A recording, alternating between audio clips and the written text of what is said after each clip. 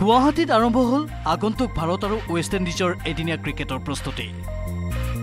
সাতাইছ অক্টোবৰৰ বৰ্ষাপাৰাৰ ভাৰত আৰু ৱেষ্ট ইণ্ডিজৰ প্ৰথমখন এদিনীয়া আন্তঃৰাষ্ট্ৰীয় খেলৰ বাবে যুদ্ধকালীন প্ৰস্তুতি আৰম্ভ হৈছে। এদিনীয়া ক্ৰিকেটৰ সফল আয়োজনৰ ক্ষেত্ৰত যাতে কোনো ধৰণৰ সুৰুঙা নাথাকে তাৰ বাবে শুকুৰবাৰে অকস্মাত বৰ্ষাপাৰা ষ্টেডিয়ামত প্ৰকল্প পৰ্যবেক্ষণ কৰে জিলা উপায়ুক্ত বীৰেন্দ্ৰ মিত্তাল আৰক্ষী আয়ুক্ত হীৰেণ নাথ অসম ক্ৰিকেট সন্থাৰ সাধাৰণ সম্পাদক প্ৰদীপ বুঢ়াগোহাঁই শুকুৰবাৰৰ পৰ্যবেক্ষণৰ সময়ত ৰাজ্য চৰকাৰৰ আন আঠটা বিভাগৰ বিষয়া উপস্থিত আছিল।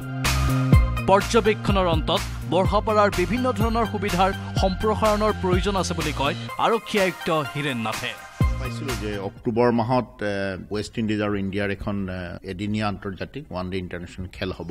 বৰ্ষাপাৰা ষ্টেডিয়ামৰ ষ্টেডিয়ামটো যথেষ্ট ভাল আৰু মানে খুব ষ্টেণ্ডাৰ্ড এটা মানে ইণ্টাৰনেশ্যনেল ষ্টেণ্ডাৰ্ডৰ ষ্টেডিয়াম কিন্তু তাৰ চাৰিওফালে যিখিনি ৰাস্তা ঘাট বা হেৰি নদী এখন আছে মৰা ভৰলো তাত যথেষ্ট ইম্প্ৰুভমেণ্টৰ দৰকাৰ আছে। ৰাস্তাবোৰ বহল কৰিব লাগিব। দৰ্শকে খেল চোৱাৰ পিছত গেলাৰীৰ পৰা ওলাই আহোঁতে যাতে কোনো ধৰণৰ সমস্যা নহয় তাৰ বাবে এ চি এক পৰামৰ্শ দিয়ে প্ৰশাসনে। প্ৰৱেশ দ্বাৰৰ সংখ্যা বৃদ্ধিৰ ব্যৱস্থা কৰিছে অসম ক্ৰিকেটে। মুঠৰ ওপৰত ভাৰত বনাম ৱেষ্ট ইণ্ডিজৰ এদিনীয়াৰ সফল আয়োজনৰ বাবে সাজু হৈছে সকলো।